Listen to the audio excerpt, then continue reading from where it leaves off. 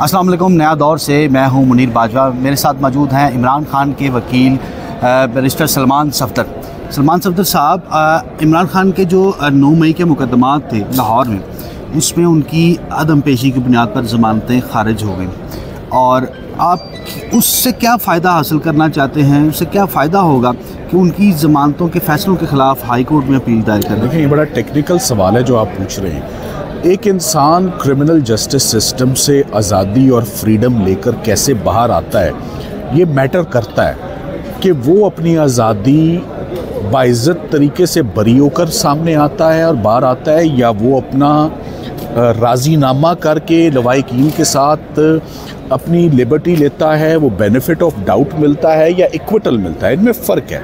इसी तरीके से ज़मानत बाद गिरफ़्तारी और ज़मानत कबल गिरफ़्तारी के ऑर्डर्स के साथ भी एक इम्पैक्ट होता है। एक उसके कुछ कॉन्सिक्वेंसेस होते हैं। प्री अरेस्ट बेल तब कंफर्म की जाती है जब केस झूठा लगता है, जब मुदई ठीक नहीं लगता, जब मेला फीडे होती है, जब अल्टीरियर मोटिव होता है। जब पुलिस की हाई हैंडेडनेस नज़र आए तो प्री अरेस्ट बेल दी जाती है।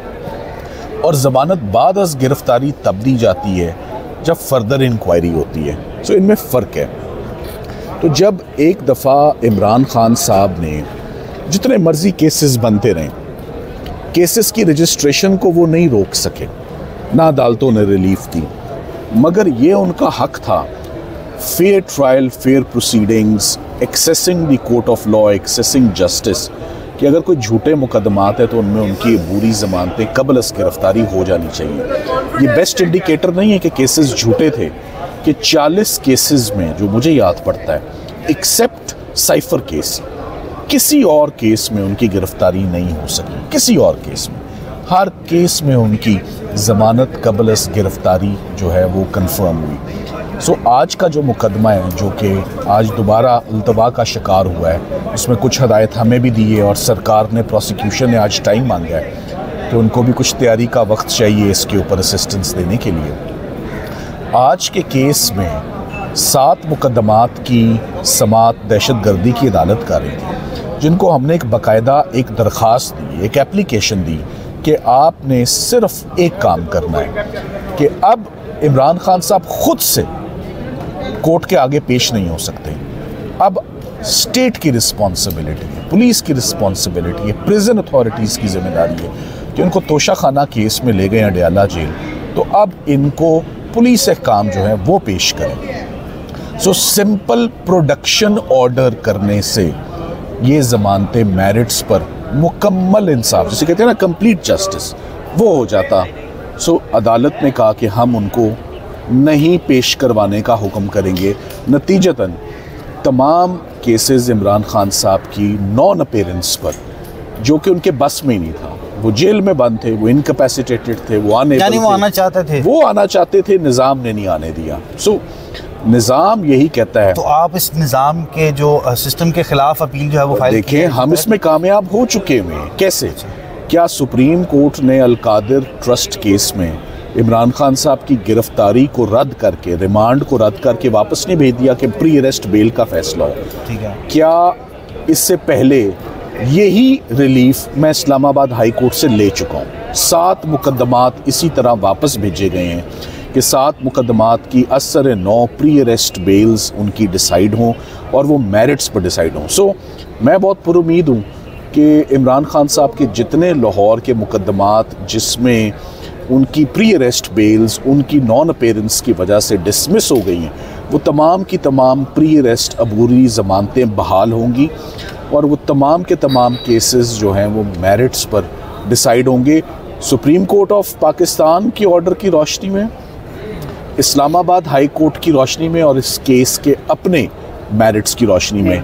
ये दोबारा रिस्टोर होंगी और तो दोबारा ये कितनी जल्दी होता हुआ नज़र आता? है ये मुझे एक हफ़्ते के अंदर होता हुआ नज़र आता है अगर ये आर्डर हो जाते हैं उनकी जमानतें बहाल हो जाती हैं तो कितने चांसेस हैं कि इमरान खान जेल से बाहर आ सकते हैं? जी ये इसका जवाब परसेंटेज के हिसाब से मीडिया मुझसे बेहतर जानता है कि जिन लोगों की ज़मानतें हो गई हैं क्या वो बाहर आ गए हैं। अजीब गरीब एक दौर से हम गुज़र रहे हैं। आ, मगर मुझे लगता है कि अब जैसे कि इलेक्शन हो जाए बहुत सारी चीज़ों चीज़ों का डायरेक्टली दारोमदार इलेक्शंस पे आठ फरवरी से। सो डायनेमिक्स चीज़ों के आ, मैं आ, बदलते देख रहा हूँ आठ फरवरी इलेक्शंस हो जाने के बाद। साइफर केस जिस तरह वापस आता है जिस तरह ट्रायल चलता है फिर दोबारा से शुरू हो जाती है प्रोसीडिंग क्या इसका फ़ायदा इमरान खान को ट्रायल में फ्यूचर में हो सकता है? कोर्स एक रेल कार पटरी से तीन दफ़ा उतर जाए और दोबारा धिक्के से ज़बरदस्ती चढ़ाई जाए बार बार चढ़ाई जाए तो उसका फ़ायदा यकीनन जो वो शख्स ट्रायल फेस कर रहा होता है उसको है।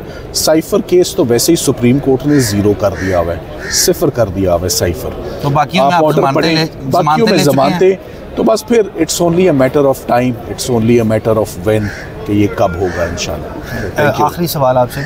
ये जो बल्ले का निशान सुप्रीम कोर्ट ने वापस किया एज अ कानून दान चूँकि आप एक माहराना राय रखते हैं आइनी भी तो ये बल्ले का निशान क्या जैसे एएनपी को जुर्माना कर दिया गया था तो क्या ये ज़रूरी था कि पीटीआई को बल्ले का निशान ना दिया जाता? देखिए महज मेरा बल्ले वाले केस से आ, मेरी कोई डायरेक्ट उसमें इंगेजमेंट नहीं है बट एज एन ऑब्ज़र्वर मैं ये ज़रूर कहूँगा कि वो अगर बल्ला दे दिया जाता तो बेहतर होता।